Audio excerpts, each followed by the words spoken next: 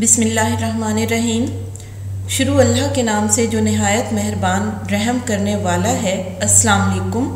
प्यारे बच्चों, हमारा नया तालीमी साल शुरू हो चुका है और इस साल का आगाज़ हम हम से करते हैं। जो हम आज हम पढ़ने वाले हैं, इसके शायर हैं इस्माइल मीठी।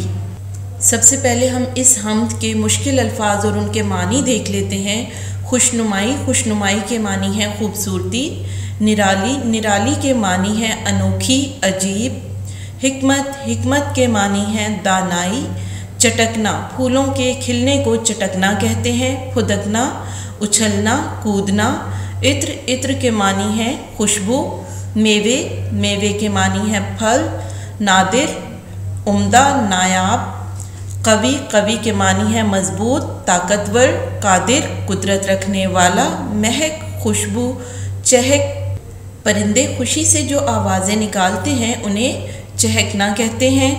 आइए अब इस नज़म को देखते हैं, हमद को। इसके पहले शेर को देख लेते हैं। जो चीज़ खुदा ने है बनाई, ज़ाहिर उसमें है खुशनुमाई। जी बच्चों, ज़ाहिर के मानी है वाजे और खुशनुमाई के मानी है खूबसूरती। इस शेर में शायर इस्माइल मेठी कहते हैं कि इस कायनात की हर चीज़ अल्लाह ताला ने बनाई है, यानी अल्लाह ताला ही की ज़ात है, जो तमाम कायनात की खालिक और मालिक है। और अल्लाह की बनाई हुई हर चीज़ से खूबसूरती ज़ाहिर होती है वाज होती है। बेशक अल्लाह ताला ने जो भी चीज़ बनाई है, बहुत ही खूबसूरत बनाई है। अगले शेर को देख लेते हैं।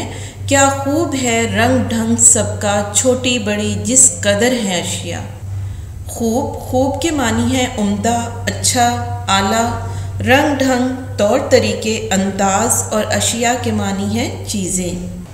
शायद इस्माइल मीठी इस शेर में अल्लाह ताला के बनाई हुई चीज़ों की खूबसूरती को बयान करते हुए कहते हैं कि अल्लाह ताला ने जो भी चीज़ें बनाई हैं उनका अंदाज़, उनका तौर तरीक नहायत ही उम्दा और ख़ूबसूरत है। इस दुनिया में अल्लाह ताला की बनाई हुई जितनी भी छोटी चीज़ें हैं या जिस कदर भी वो बड़ी चीज़ें हैं, उन सबसे अल्लाह ताला की कुदरत ज़ाहिर होती है और इनकी खूबसूरती अल्लाह ताला की कारीगरी का एक आला नमूना है। अगले शेर को देख लेते हैं। हर चीज़ की है अदा निराली, हिकमत से नहीं है कोई खाली। अदा के मानी है अंदाज, निराली, अनोखी हमत दानाई। जी बच्चों, इस शेर में शायर क्या कहते हैं? शायर इस्माइल मिर्ठी कहते हैं कि अल्लाह ताला ने हर चीज़ को अनोखे अंदाज से पैदा किया है। हर चीज़ दूसरी चीज़ से अलग और मुनफरद नज़र आती है। और इस कायनात में अल्लाह ताला ने जितनी भी चीज़ें पैदा की हैं, जो कुछ भी बनाया है, हर चीज़ में कोई ना कोई हमत मौजूद है। यानी हर चीज़ के होने का कोई ना कोई मकसद और फ़ायदा ज़रूर है। अगले शेर को देखते हैं नन्नी कलियाँ चटक रही हैं, छोटी चिड़ियाँ फुदक रही हैं। जी बच्चों नन्नी नन्नी के मानी है छोटी, चटक खिल रही हैं, कलियाँ चटक रही हैं, यानी कि फूल खिल रहे हैं, कलियाँ चटक कर, खिल कर फूल बन रही हैं, छोटी चिड़ियाँ फुदक रही हैं, फुदकना, उछलना, कूदना। जी प्यारे बच्चों, नज़म हमद के इस शेर में शायर इस्माइल मिर्ठी कहते हैं कि, बाग में हर तरफ़ नन्ही नन्ही कलियाँ खिल रही हैं और उनके खिलने से फूल बन रहे हैं, जिनमें से खुशबू की महकार आ रही है, खुशबू आ रही है और इन फूलों की खुशबू से पूरा बाग महक रहा है। यही वजह है कि छोटी छोटी चिड़ियाँ भी बहुत खुश हैं और वो खुशी से उछल कूद रही हैं।